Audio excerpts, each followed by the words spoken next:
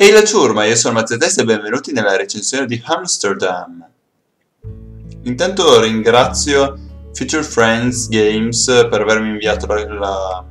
chiave e eh, ringrazio Muse Games invece per appunto avermi permesso di creare questa recensione. Amsterdam è prodotto appunto da Muse Games, che sono gli stessi di Guns of Icarus, se per caso lo conoscete, sia Guns of Icarus che Guns of Icarus Alliance, che è quello che hanno rilasciato due anni fa. Ed è un gioco innanzitutto completamente diverso da, dai pre titoli precedenti che avevano sviluppato. Di cosa si tratta? Si tratta di un picchiaduro eh, a livelli in cui guideremo un criceto, appunto come prende il nome Amsterdam dal gioco di parole tra hamster e Amsterdam e dovremo andare a libera liberare degli altri criceti che sono stati catturati da donnole, conigli e ratti che sono insomma i nostri nemici. Avremo quindi dei livelli di difficoltà crescente con dei mini boss sparsi e saranno tutti gestiti su un tot di 3 stelle collezionabili per ogni livello. Quindi in base al la mm, richiesta che sarà diversa per ogni livello, riusciremo a ottenere una, due o tre stelle per ognuno di essi. Sarà necessario poi ottenere ogni tanto a dei checkpoint un determinato numero di stelle dai livelli precedenti per poter proseguire con l'avventura e eh, quindi andare a eh, sconfiggere tutti i livelli successivi fino ad arrivare al mega boss finale che permetterà la liberazione definitiva di, dei criceti da questa oppressione di, di questi roditori malvagi. Ecco. Oltre, come dicevo prima, alle 3 stelle che possiamo andare a guadagnare ogni livello, che in genere sono eh, influenzate da quanto noi riusciamo a fare bene a livello di combo o a livello di tempo per riuscire a battere quel determinato livello, ci sarà anche un bonus opzionale aggiuntivo che eh, viene dato dai semi di girasole i semi di girasole sono ovviamente un uh, lascito che i criceti si portano sempre dietro di sé dal fatto che adorano proprio questo tipo di, di mangime. E uh, quindi per ogni livello avremo anche tre possibili queste secondarie, diciamo, ma neanche delle quest, degli obiettivi ecco, secondari da eh, raggiungere per ottenere dei semi di girasole in più. E cosa servono questi semi di girasole? Sono la valuta del gioco che servono poi per acquistare dei vari oggetti nel um, negozio. Gli oggetti sono in pratica delle personalizzazioni del nostro criceto, che è lo stesso che guideremo dall'inizio alla fine del, del gioco, e eh, è quello che potete vedere nelle immagini che stanno scorrendo adesso. Queste personalizzazioni ci permettono di cambiare cappello, di cambiare indumenti, eccetera, eccetera. E eh, spesso alcuni di questi vestiti ci danno la possibilità di avere dei bonus in più eh, oppure di poter ottenere, sbloccare dei, degli obiettivi secondari in alcuni livelli, per cui per esempio ci saranno dei livelli in cui bisogna avere un determinato tipo di guanti o un determinato tipo di occhiali se si vuole sbloccare un eh, obiettivo secondario. Allora, eh, diciamo che il um, sistema di combattimento non è male, nel senso che in realtà l'azione per picchiare è semplicemente una, c'è un solo tasto per, per, mandare a segno un colpo, ma bisogna fare attenzione a um, ribattere agli attacchi che stanno per arrivare dai nemici eh, facendo in pratica un counter rapido prima che loro ci attacchino. Inoltre verso le fasi finali viene introdotto un attacco secondario che è un attacco caricato che serve per rompere la difesa eh, dei nemici. Molte di queste azioni in più vengono combinate con dei quick time events che sono dei modi per difendersi da attacchi speciali che fanno invece i nostri nemici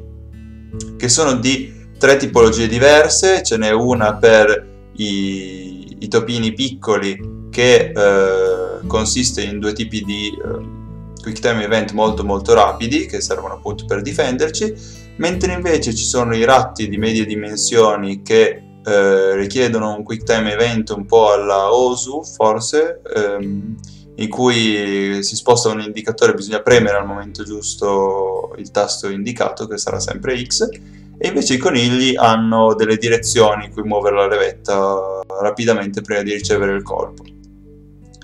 Oltre a questo c'è la possibilità di usare un colpo KO e il colpo KO permette di eh, eliminare completamente una barra della vita dal nostro nemico, che all'inizio è soltanto una, ma poi i nemici si faranno sempre sempre più tosti, quindi oltre alla barra rossa se ne aggiungerà una gialla, poi se ne aggiungerà una viola e una verde, e, ehm, quindi eh, ehm, permettendoci di sconfiggerli molto più rapidamente. La barra del KO si carica rapidamente se andremo a compiere una combo di attacchi base con il determinato tempismo stabilito da una piccola aura che si formerà intorno al nostro criceto. Parlando di quick time events, devo dire che purtroppo non li ho trovati particolarmente belli, particolarmente ispirati e in più sono davvero davvero facili, tranne qualche volta quello dei ratti di medie dimensioni eh, in cui capita magari di premere troppo presto o troppo tardi la X, gli altri sono molto, molto semplici sia all'inizio della partita che alla fine quando in, in realtà si velocizzano un pochettino di più e chiedono un pochettino più di comandi. Oltre a questo diciamo che altri contro che devo segnalare sono il fatto che i boss intermedi sono di eh,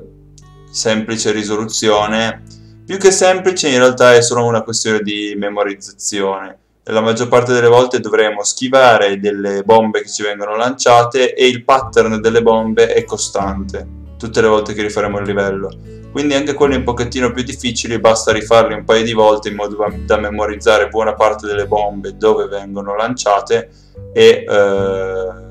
tramite questo ricordo insomma schivarle tutte e riuscire a sconfiggere quel, quel boss intermedio. La durata del gioco è abbastanza contenuta, diciamo che io l'ho finito sulle 5-6 ore eh, senza arrivare appunto a sbloccare tutto, però comunque arrivando al boss finale e sconfiggendolo, che non richiede di avere tutto a 3 stelline o di sbloccare tutti gli obiettivi secondari. Oltre a ciò un'altra pecca che devo segnalare eh,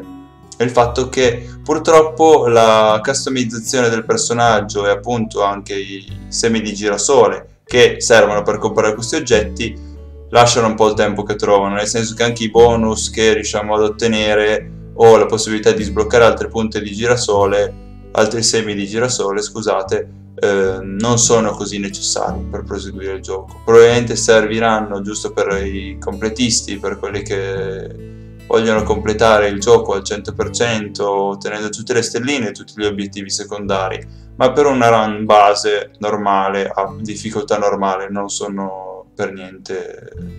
necessari. Oltre a questo, appunto, la difficoltà normale è molto molto semplice, quindi non troverete alcuna difficoltà ad arrivare alla fine del gioco, forse qualche duna con dei livelli secondari, cioè con dei boss eh, intermedi, ma i livelli non ce n'è nessuno che ho dovuto rifare più di una volta e non ho mai dovuto ehm, tornare indietro dei livelli precedenti per ottenere più stelline per riuscire a, a passare un checkpoint. Ho sempre ottenuto abbastanza stelline per andare oltre. Detto questo, cosa è il mio responso finale? Devo dire che a me è abbastanza divertito, soprattutto all'inizio, perché comunque lo stile grafico è carino e lo stile del combattimento è discreto, ecco, ovviamente se voi siete fan dei picchiaduro questo è troppo casual per voi, però alla lunga non è abbastanza e non mi sento di consigliarvelo se non lo trovaste a prezzo scontato o comunque in un bando perché a prezzo pieno comunque non vale la candela. Sono contento per quanto riguarda Muse Games che abbia sperimentato qualcosa di nuovo perché comunque eh, ha un design interessante ma eh, non è abbastanza. Oltre a questo non ho parlato per niente della storia, ma la storia è abbastanza trascurabile, nel senso che ci sono delle brevi scene, brevi scene eh, disegnate, neanche animate, eh, in cui si capisce un attimo la storia, non ci sono dialoghi né niente e non è così importante, insomma, solo, è solo per spiegare, guarda, c'è un cattivo, devi picchiarli perché sono stati cattivi con te e quindi ti dà la giustificazione, ma non non è una storia importante. Detto questo, se la recensione vi è piaciuta, vi è servita, vi invito a lasciare un pollice in su, eh, a scrivere un commento e iscrivervi al mio canale se per caso non l'aveste già fatto. Ciao a tutti e buona giornata.